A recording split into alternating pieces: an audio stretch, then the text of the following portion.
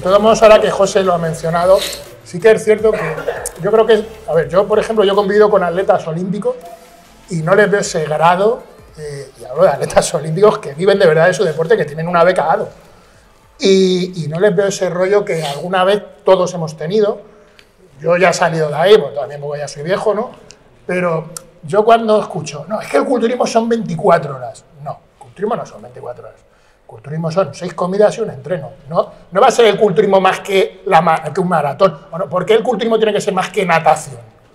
No, culturismo son, tú comes tus seis comidas, eh, vas a tu entreno a la hora que estés en el gimnasio y luego el resto del día pues trabajas, te vas con tu mujer, tal, pues, lo que tendría que ser. Lamentablemente es un deporte que atrae muchas personalidades obsesivas, eh, hay mucho trasfondo emocional a veces y tal, y a veces es cierto que todos hemos estado en ese punto de que culturismo, culturismo, culturismo, culturismo, y realmente no vas a ser mejor culturista.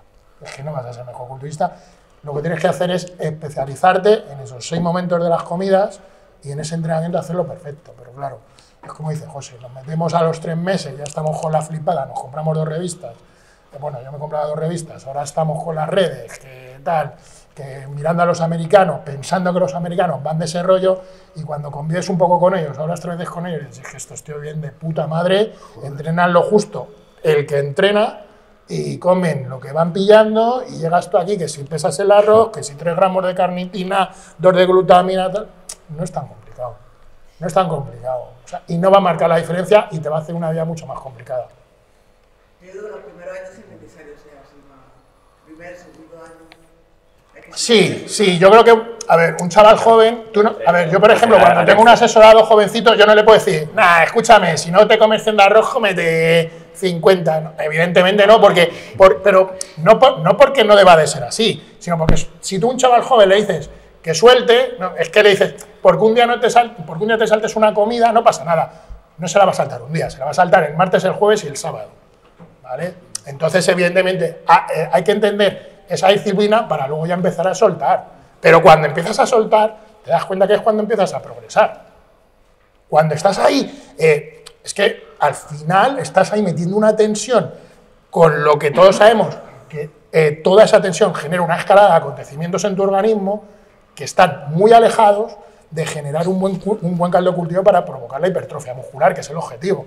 Tú, cuanto más, es como lo estaba diciendo antes, cuanto más relajado estás, cuanto más suelto estás y demás, es cuando progresas. De hecho, yo, yo hablo de mi experiencia. Yo cuando más he progresado, no ha sido cuando más he entrenado, ni siquiera cuando más química he usado. Ha sido cuando mejor he estado en mi casa, cuando fui padre, eh, cuando con mi mujer estaba de puta madre, cuando he tenido un buen curro.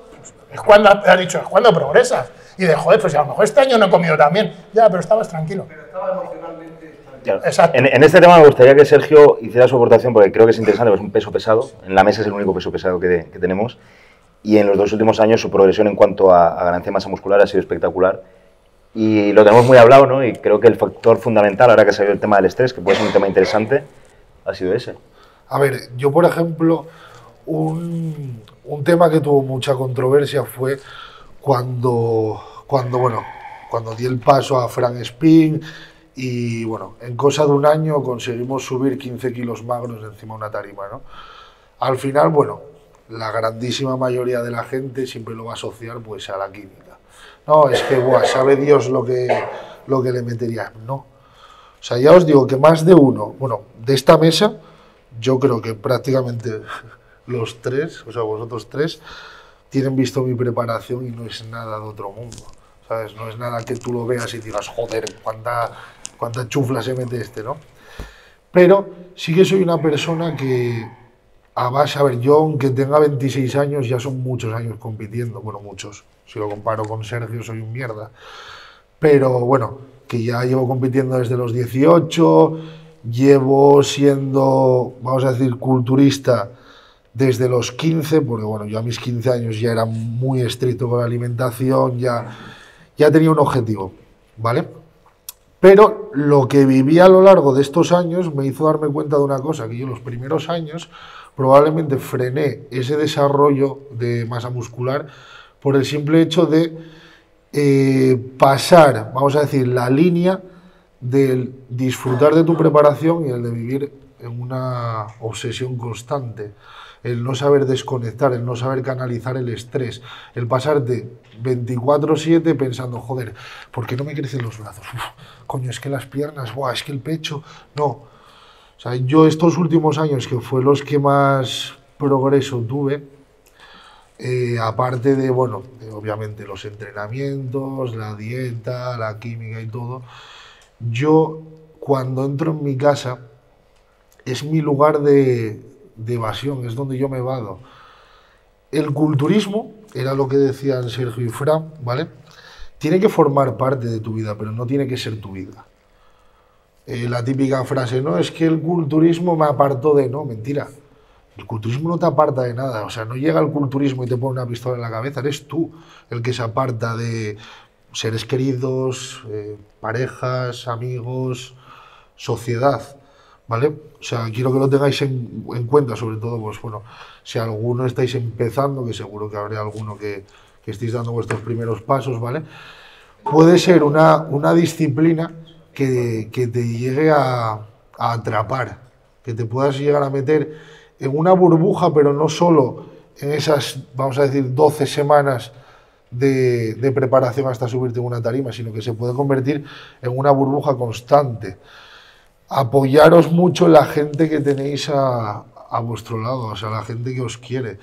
Entonces, ¿cómo vais a progresar muchísimo más y de manera más eficiente?